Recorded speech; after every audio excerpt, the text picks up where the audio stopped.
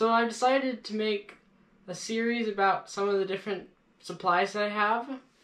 And I'm going to start with the Student Pilot's Flight Manual by William K. Kershner.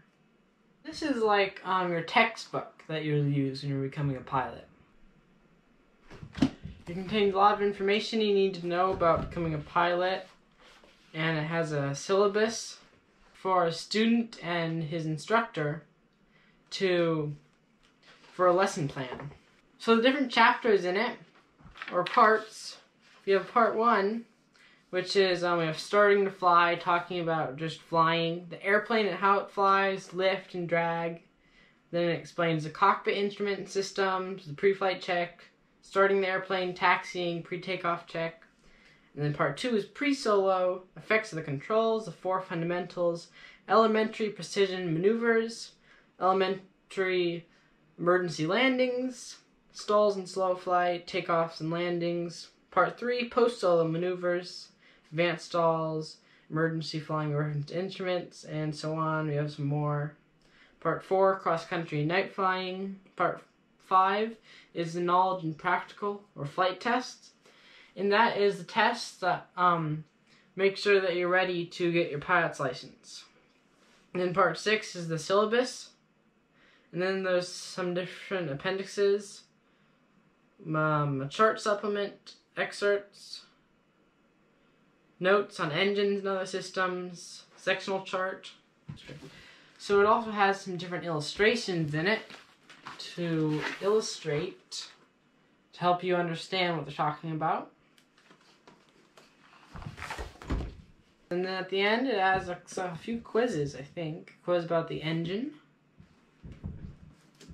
And then it has some, uh, it has a, let's see.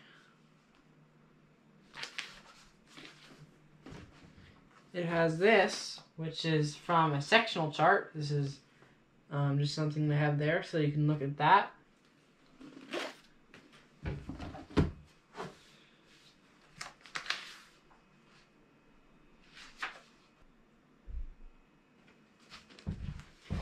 And this book also has some humor in it, such as this illustration here, which is, um, it says, your instructor will discuss your errors in a forced landing. And it has a student crashing his plane into a swamp. And then it also talks about a student pilot who, because he didn't do his checklist properly, accidentally took off without wings.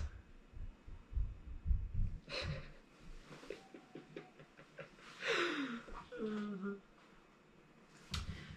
one thing that I found interesting is uh, it doesn't have normal page numbers. For example, this one, that page is 1211.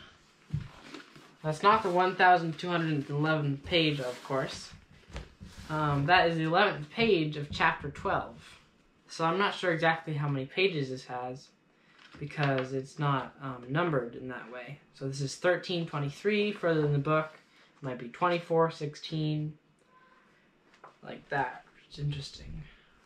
So in the back of the book we have so recommended reading, aviation weather, aviation weather services, Airman certification standards, and then the FAR-AIM, which is Federal Aviation Regulations, and Aeronautical Information Manual. I'm going to do a video on that book too.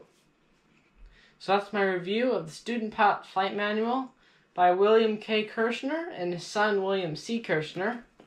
It's published by Aviation Supplies and Academics. And that's all for now, so see you next time.